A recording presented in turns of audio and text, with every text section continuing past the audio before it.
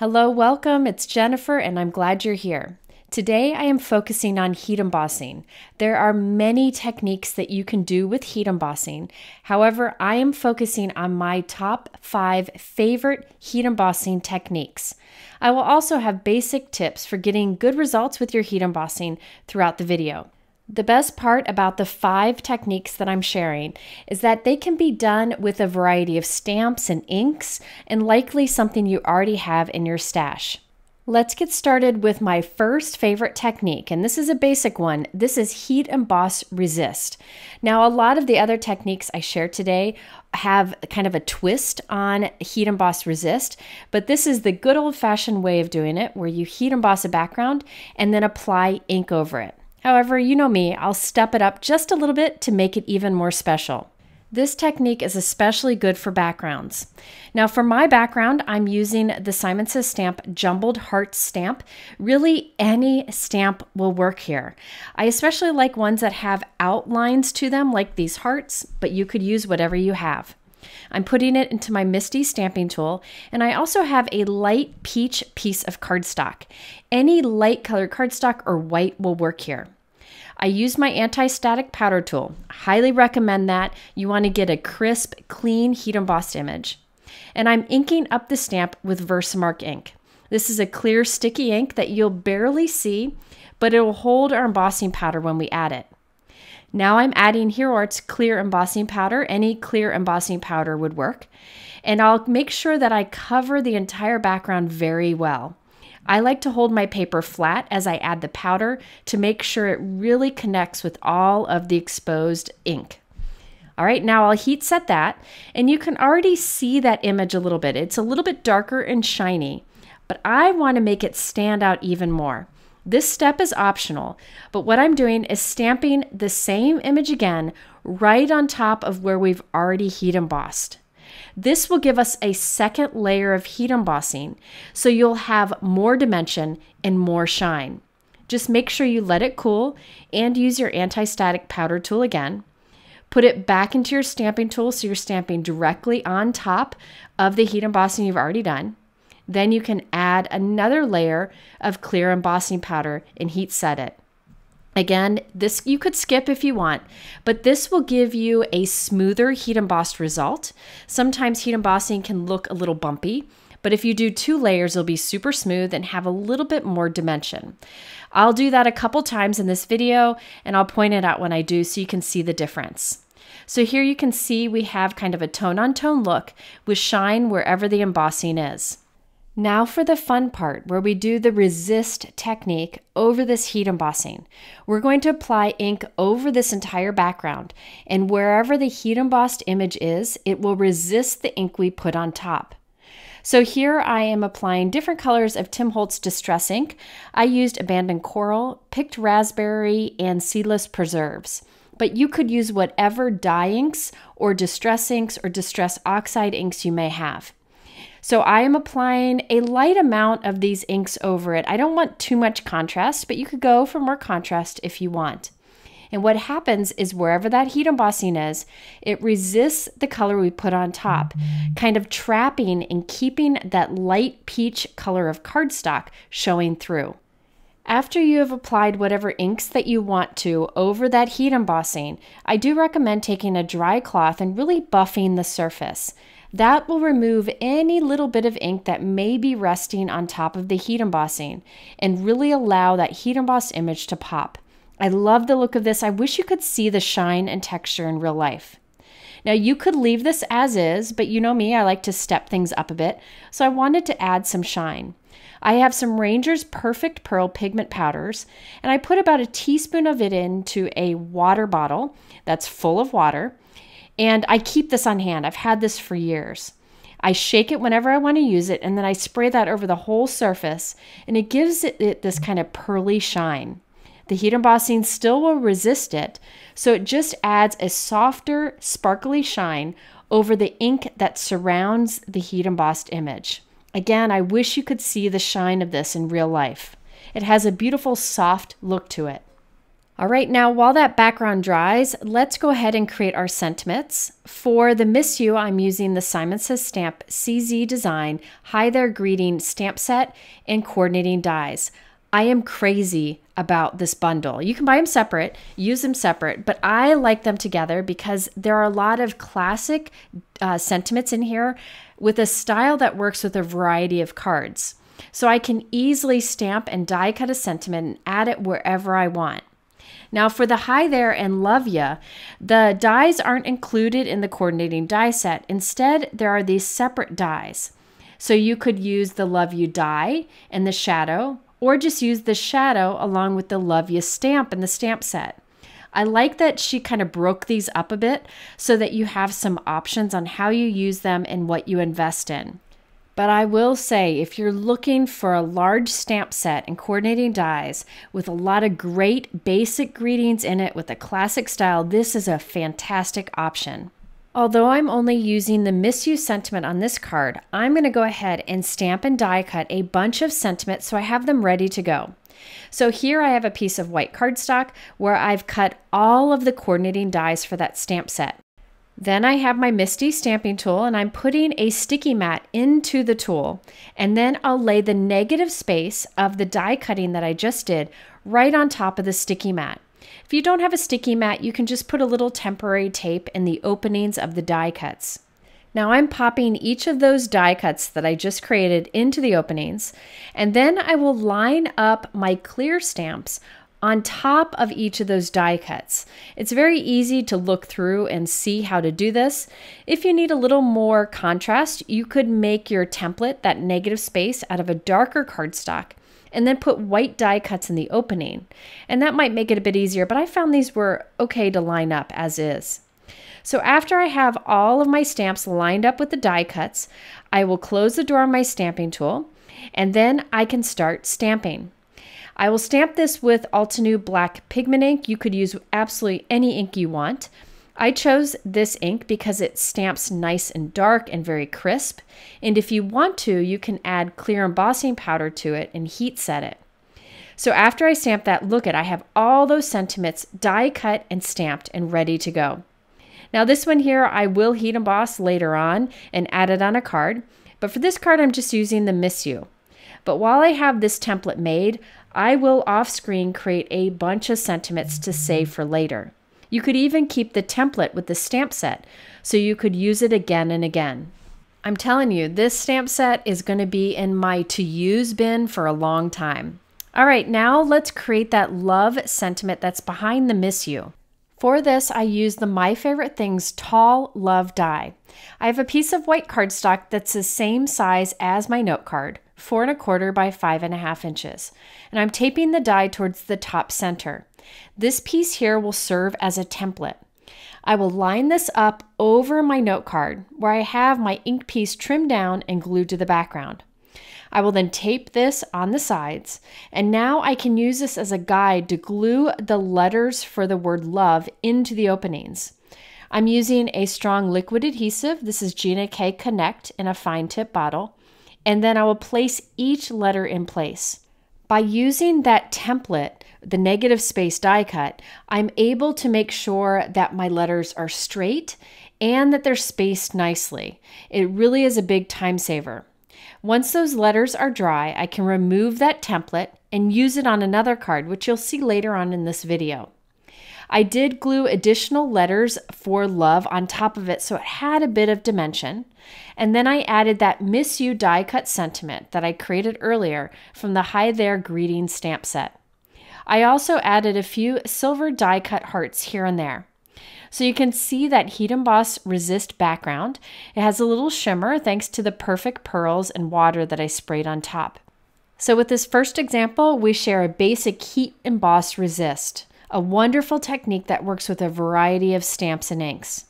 Okay, it's time for my second favorite heat embossing technique, and this is a spin on the heat embossed resist, and that is to use watercolor on top or some sort of color along with water. The raised heat embossing forms little walls that create little areas or pools of color and gives amazing results. Now for this one, I'm using the new Simon Says Stamp Lace Heart Kaleidoscope background stamp. I really like the fine lines on this. Any kind of outline stamp is great for this, especially backgrounds. Now this time I am using Tim Holtz watercolor paper. I do recommend any kind of watercolor paper here as we're going to add a lot of water to it. Tim Holtz watercolor paper is my favorite because it's bright white and that has one side with texture and one side that's smooth. I'm stamping onto the smooth side. I use my anti-static powder tool and now I'm stamping the background stamp with Versamark ink. I often like to double stamp my Versamark. Because it's clear, you can't tell if you have a good impression. So I feel like stamping it twice really kind of ensures that you've done a good job and that you'll have a complete image when you add the embossing powder. Once again, I'm adding Hero Arts clear embossing powder. You could also use white embossing powder here if you prefer. And then I will heat set it. Now for the fun part, you can add any watercolor that you want over this and the heat embossing will resist it. Now I'm taping my background down onto something flat. I happen to be using my MISTI stamping tool and using Altenew satin tape to tape it down. Now I chose to use Lindy's Magical Powders as my kind of watercolor. These are so much fun because they burst full of lots of colors when they come in contact with water and they have lots of shimmer. A little goes a long way with these, and there are a lot of beautiful options available. I will link up here on the top right and below in my description to a video that shows much more about these magical powders. I'm using them briefly today. So over my heat embossing area, I'm spraying the surface generously with water so that there are kind of little puddles of water between the heat embossed walls that we created by doing the heat embossing. Now I'm using a dry brush to kind of tap some different colors on here. Now, I ended up using a bit more powder than you need to do. You can use a lot less if you want to. Again, a little goes a long way. But I kind of wanted a rainbow going from the top to the bottom. You could put the powder down first and then spray with water, or you can do what I'm doing, which is put down water first, then sprinkle in the powder. And you can see how the powder starts to move already. Then I'll spray it even more with water to see what areas I need to add into. I noticed I didn't do well at putting powder along the edges, so I'm just tapping a bit more there. And you can also use a wet brush to kind of move the color around but I encourage you to leave it. Notice how I'm kind of moving it around and messing with it. Don't do that. The results are usually better if you just let it do its thing. So set that aside for a while, give it some time to dry, and you'll be amazed at the results.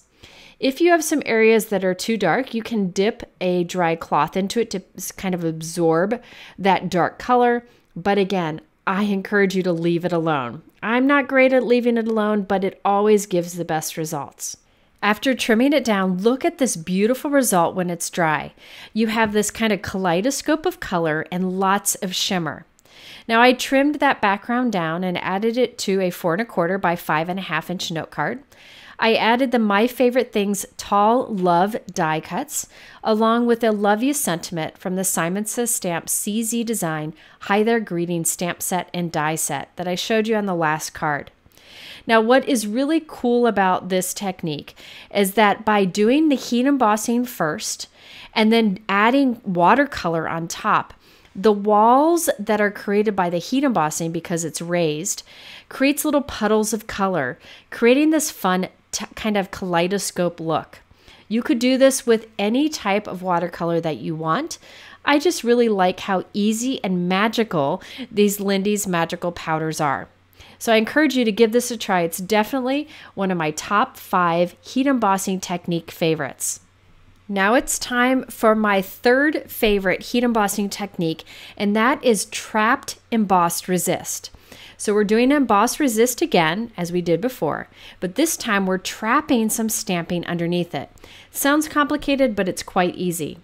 I'm using two background stamps for this. The Simon Says Stamp Concentric Hearts, which you see here on the right. What's cool is these hearts come apart, so you can stamp each heart separately or in a different color. I plan to keep them all connected except for that center area that says love you. And I'll stamp it as one complete stamp. But do know you can take them apart very easily and do different colors for each stamp. I'm also using the Simon Says Stamp Friendship Text Background Stamp. We'll actually use this stamp first. I'm placing it into my MISTI stamping tool and I have a piece of white cardstock already placed inside of the tool. Now this we're going to stamp with a very light ink. You could use a darker ink if you want to, but I want something subtle here. For this step of this process, I do recommend a stamp with lots of detail, such as a text background stamp. Now I'm inking up my stamp with Hero Arts Soft Granite ink, which is a nice soft gray ink. It's kind of a neutral color, and that way I can add whatever colors I want once we do our technique. I do recommend heat setting this. You want this ink to be very dry before going on to the next step. If the ink is wet at all, it might mess up our heat embossing. Now I have the concentric heart stamp. I'm just using those outside hearts and I'm placing that on top of the stamping we've already done. I'll close the door on my MISTI stamping tool to grab that stamp. And now I'll use an anti-static powder tool and then ink up the stamp generously with the Versamark ink. Again, this is a clear sticky ink, so you won't really see it. So be sure to double stamp it if you want to to make sure that it really stamps well, but you should be good to go as long as your ink pad has enough ink in it. All right, now we can add clear embossing powder. I recommend clear embossing powder here as we are trapping that stamping that we've already done underneath the clear embossing powder. I will then heat set it. If your heat embossing isn't very smooth, you can do a second layer, layer of heat embossing as I did on my first card example. Now for the fun part, we can apply different dye inks on top of this. You could even use pigment ink or oxide ink if you want. I'm using Simon Says Stamp Saturated Inks. This is a great dye ink with a beautiful selection of colors. And I'm applying that ink on top using a blending brush. After I apply a color, I use a dry cloth to buff the excess ink off of those heat embossed areas. Now what's happening here is the heat embossing is resisting the ink we put on top. So it's trapping that text stamping that we did with the light gray ink underneath the heat embossing, allowing it to show through in those areas. They appear white here.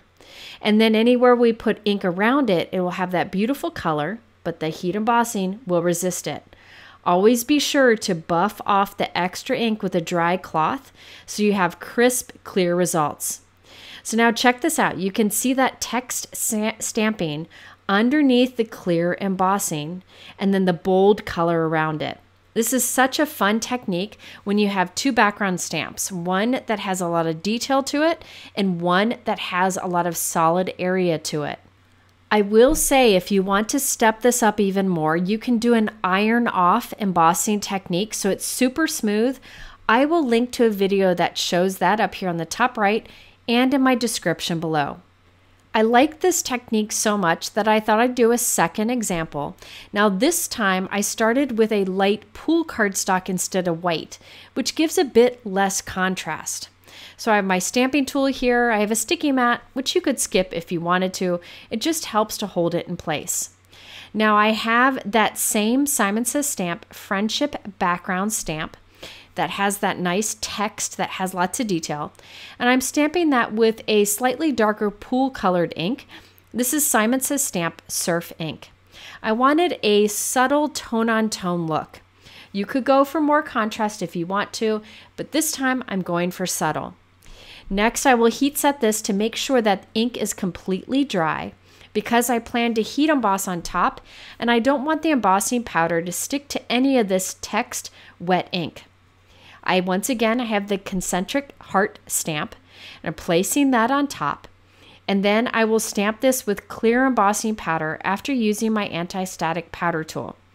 Be sure to double stamp if you think your ink pad might be a little dry or if you just want to be sure to get great heat embossed results. Now I can add my clear embossing powder. Make sure to add the powder as your paper is horizontal so it's really touching all of the exposed ink and then just kind of lightly tap off the excess. Then you can heat set it and you'll see that the clear embossing will get a little bit darker than the background. Now for the fun part where we add ink on top. Again, you can use dye inks, distress oxide ink, uh, distress inks, or pigment inks, and use any kind of blending brush that you want. After you've applied ink on top, you'll want to use a dry cloth to buff off that excess ink because some of the ink may end up sitting on top of the embossing powder, but it will wipe away very easily, giving you that trapped heat embossed look. So the heat embossing is resisting this ink that we put on top and it is trapping that text stamping that we did underneath giving you this a fun result. It's just a great technique for using two background stamps or individual stamps together as one. So here is a closer look. You can see that trapped stamping underneath the heat embossing. Such a fun technique. And here is the first background that we did. We started with white cardstock, so you have a little more contrast there. It's fun to change up the colors of cardstock underneath and the colors of inks you use to get different looks. Now we have two backgrounds here that we can cut down to add to a card in various ways. I like to use large rectangle dies to figure out where I want to trim this down, or you can just use your trimmer. Oh, and by the way, sometimes when you put ink on top of heat embossing, it kind of gets a dull look to the heat embossed area. The way to kind of make that shine again is to just reheat it a little bit.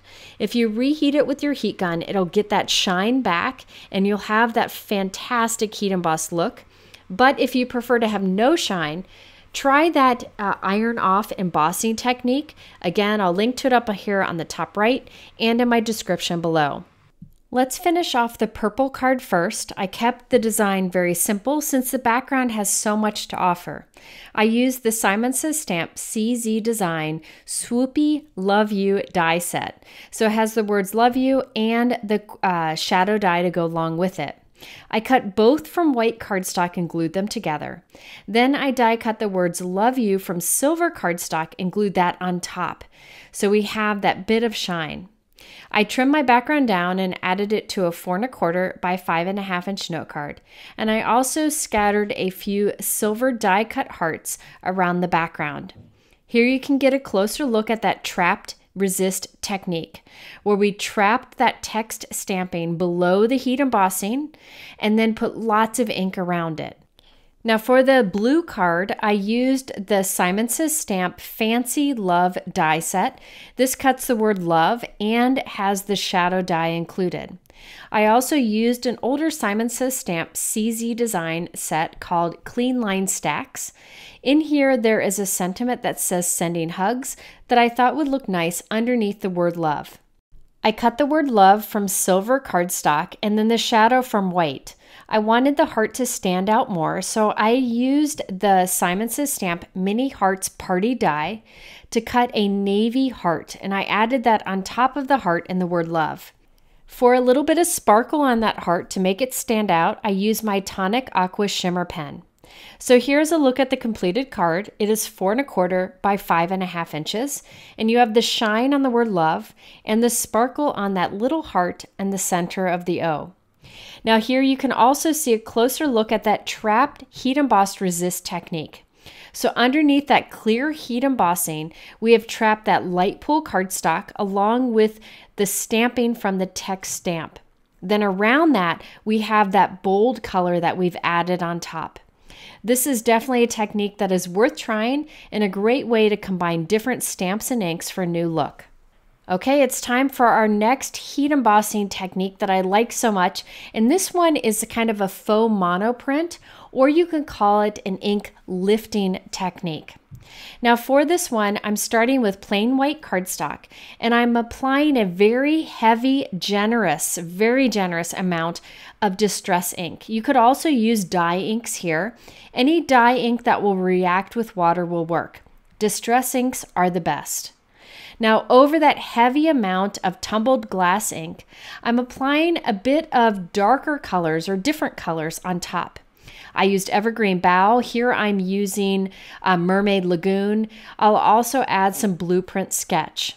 but you want a heavy amount of ink. Because I put that heavy amount of tumbled glass underneath, I can just put a little bit of these darker colors on top for a bit of variation. But be sure to be generous with the ink. That's what makes this technique work. Again, any water reactive ink will work. Distress inks are optimal. Okay, so once you're done adding lots of ink to your white cardstock, you need to heat set this completely. You want to make sure all of that ink is dry. We plan to heat emboss on top of this, and if this ink is still wet, it'll mess up our heat embossed image. So once it's completely dry and heat set, I'll put that into the corner of my MISTI stamping tool use my anti-static powder tool, and then I'm stamping the same background stamp with Versamark ink on top of our inked background. You will not be able to see it much. It's very subtle. But when you add your clear embossing powder, you'll see it a bit more. But still, it's very subtle. We're going to do a technique that makes it stand out more and gives you a bonus background. Now it's time to do this faux monoprint or watercolor lift technique. I have another piece of regular white cardstock that's cut to the same size. I'm creating a little hinge at the top to tape them together so that the heat embossing and inking is back to back with that white uh, cardstock piece. So you can see here it's kind of like a little folder. Then I have my die cut machine ready as if I were doing regular die cutting.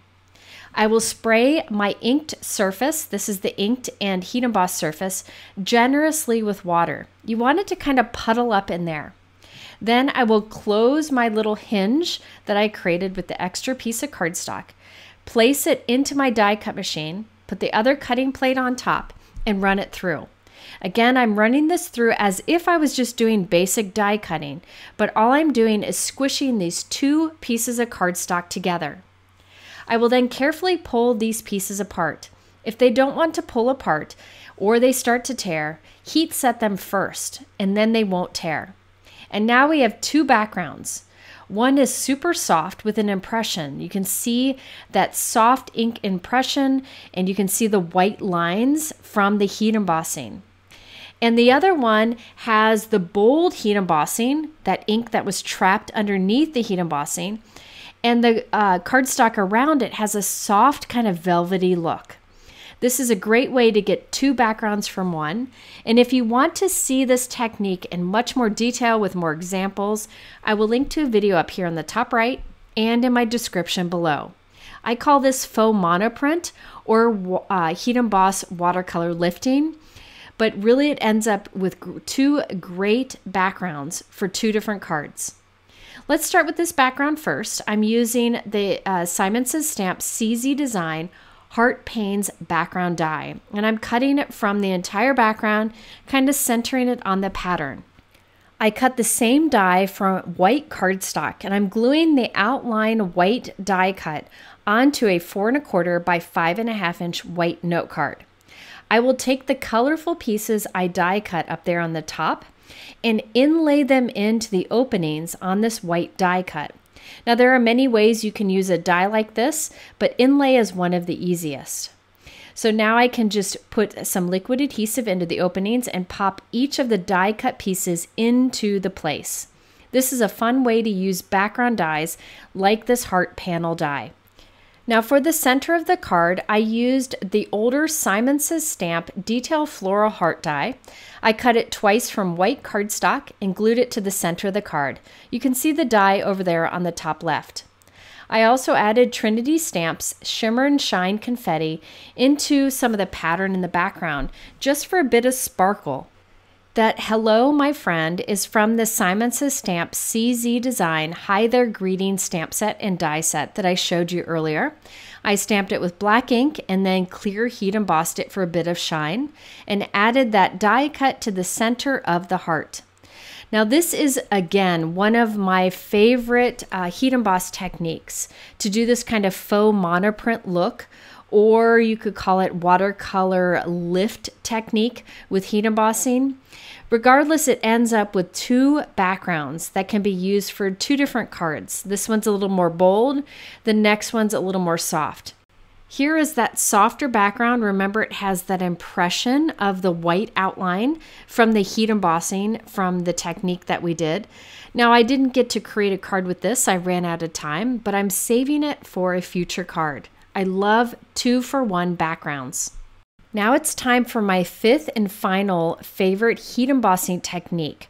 However, stay tuned. I do have a bonus card using the scraps from the other cards that we've created. Now, this fifth technique is to stamp with colored ink and then clear emboss on top. It makes it look like you have lots of different colors of embossing powder, and it makes your images stand out even more. For this, I'm using the Simon Says stamp from the Heart 6x8 stamp set, along with the Simon Says stamp nested rounded hearts dies. These work really well together or separately. You can see how the dies cut out the sentiments nicely. I'm using that biggest sentiment up there on the top left. Now for this, I am going to use multiple colors of ink. You could use absolutely any type of inks you want here. I'm using Simon Says Stamp Saturated Dye Inks, and I'm using a blending brush to apply the ink just to a little area of the stamp.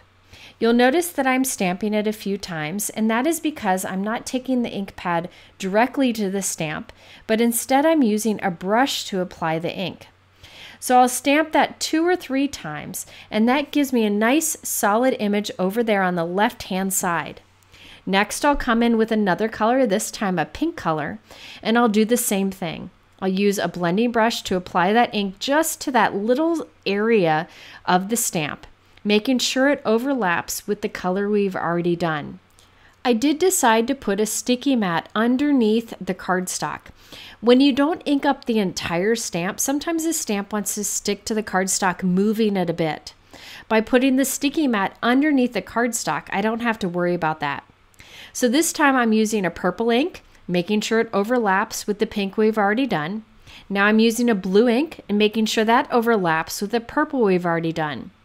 Then I'll move on to pool and then I'll move on to green. And I'll stamp these multiple times to make sure we get a solid result. And what we end up with is this heart with this beautiful kind of rainbow blend across the image. This works great with any large image you may have. I wanted this colorful image to stand out even more, so I decided to add clear embossing on top. So I put it back into the corner of my stamping tool, and I'm stamping right on top with clear embossing ink. This is Versamark ink. Any clear embossing ink works. And I'm stamping that on top of our colored ink. I will then add clear embossing powder and heat set it. And this will look like I used lots of different colors of embossing powder, but really I only used the basic clear powder over multiple colors of ink. Now I want this to stand out even more. This is the focal point of our card. So I'm going to let it cool and put it back into the corner of my stamping tool and stamp on top of that cooled heat embossing with Versamark ink. Then add another layer of clear embossing powder on top and heat set it. I did this earlier in the video and it really makes a huge difference in real life. Now when I heat set this, I'll end up with what looks kind of like a jelly bean image. We'll have this colorful image and it'll have a nice domed look to it, very smooth, raised, shiny embossing. Now I'll use the nested rounded heart that coordinates with it and I'll tape it in place and run it through my die cut machine. Here's a closer look at that raised, smooth heat embossing that we have on top of that colorful image. This is a great way to get a multicolor look out of whatever stamp you may have. So I added that heart onto a white note card where I have white heat embossed the jumble heart background stamp that I showed you earlier in this video. That white heat embossing on the white note card just gives a tone on tone look that's hard to see in the video or photos, but in real life it adds a lot of interest. I also really like that raised kind of jelly bean look that we have on the sentiment. All right, now I have a bonus card for you where I use some of the scraps that we have left over from today's cards on a card that really came together quite quickly. And this is something you can do with any scraps you may have.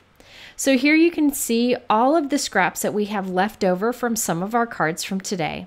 And I'm using the Simon Says Stamp heart chain die to cut from those scraps. This die will cut lots of hearts that I can inlay into a white die cut, which you'll see in a moment. Got lots of scraps. I never throw these away. I keep them in a drawer so you can dig through all of your scraps and find pieces that would work for this. So I have a four and a quarter by five and a half inch top folding white note card. And I've cut some white outline die cuts from that heart chain die. I'm gluing them kind of diagonal along the bottom of our card, making sure that they're close together. Any kind of die that has openings would work for this. After I have those white outlines glued onto our card, I'll use the die to create little hearts that I can inlay into the white openings. Now I used the scraps from all the different cards I created today. It's a nice mix and match. They don't go together well, but when you glue them all together on a card, somehow it works. So save all of those inky stamped backgrounds because you can use them on a card like this. So there you can see our inlaid background. I added a thanks sentiment from the Hi There Greetings stamp set from Simon Says Stamp and CZ Design. And I used that heart chain die to cut additional white outline die cuts that I glued on top of the ones already in the card just for some extra dimension. There you can see how all of our extra scraps went to good use for a simple card design that looks elaborate but didn't take long to put together. Okay, so there you see five of my favorite heat embossing techniques plus a bonus card for using your scraps. If you're interested in the supplies I use, I always provide links to them below in my YouTube description. But I do encourage you to go to my blog where I have much more information. I share discount codes and sales and more. At the end here, I'll link to a couple other videos that I mentioned throughout this one. I appreciate you watching and I'll see you again soon.